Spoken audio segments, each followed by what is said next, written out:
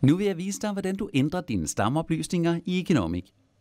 For at ændre dine oplysninger, skal du først og fremmest trykke på det orange tandhjul øverst til højre. Vælg så punktet Alle indstillinger. Her i dine stamoplysninger har du øverst på siden dine grundlæggende virksomhedsoplysninger. Det er blandt andet virksomhedens navn, adresse, telefonnummer og dine kontaktoplysninger, samt den e-mailadresse, Economic skal sende din faktura til. For at ændre i oplysningerne, skal du ganske simpelt trykke Rediger i afsnittet. Når du er færdig, skal du trykke Gem. Lidt længere nede på siden har du punktet Øvrige oplysninger. Her kan du angive dine bankoplysninger for at påføre dem på dine fakturer, tilbud og ordre med videre. Du kan også angive et PBS-nummer, hvis du bruger PBS, et girokontonummer eller et ERN-nummer.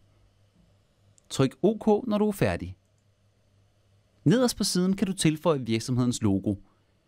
Når du trykker Tilføj logo og vælger et billede på din computer, lægges billedet automatisk ind på alle tilbud, ordre med videre, som du opretter i Economic.